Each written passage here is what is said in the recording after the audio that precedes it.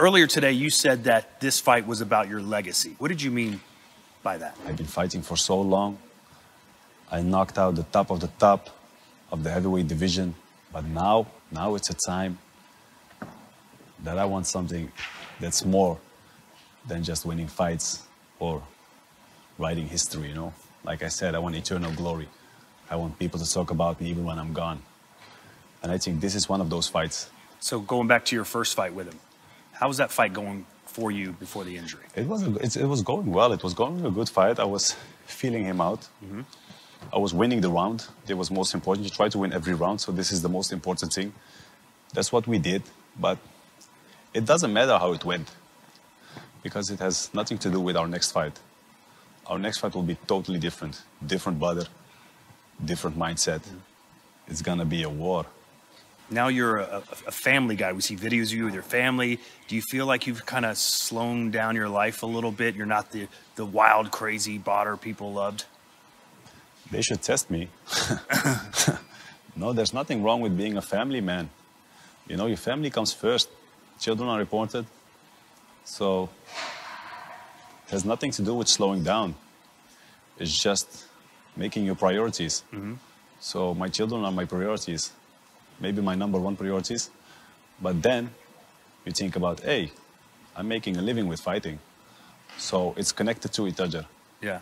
So fighting, being a beast, being an animal, is connected to being a family man. This is what makes me earn a living for my family. So that makes me more dangerous, mm-hmm. more motivated. So the connections between an animal and a family man, it's nothing. The line is very thin. Used to, you seem to carry yourself with more anger. Now you're much more relaxed.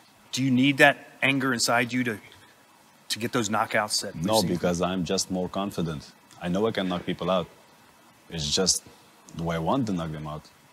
You know is it the time? Did i train well? Am i focused enough?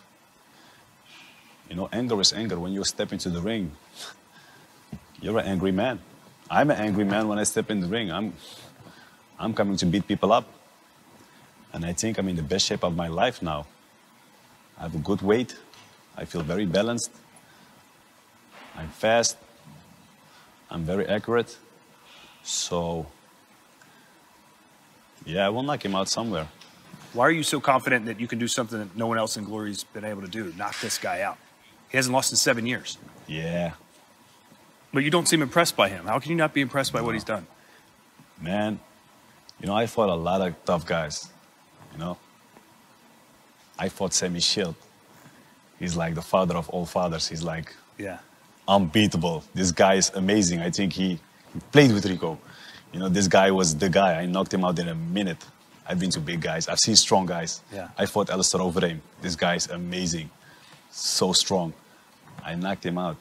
You know, I fought Peter Aerts. Strong. I knocked him out. I fought Ray Sefo. This guy is amazing. This guy is a legend, has a chin of steel. I knocked him out. How can you tell me if I knock so many people out that this guy will impress me because he wins seven years, let's say 15 fights on points. It doesn't impress me. You heard Rico in the press conference basically label you as a quitter. Said you quit your, your first fight and you'll quit again. How does that make you feel when you hear that? Oh, let him say what he wants to say. If, if that makes him feel good, he goes home later on, he's to go to sleep. He's, ah, nice, I said it. I'm happy for him. We'll see, 21 December. When I win, a lot of things will change in the heavyweight division six more fights. This is one of six.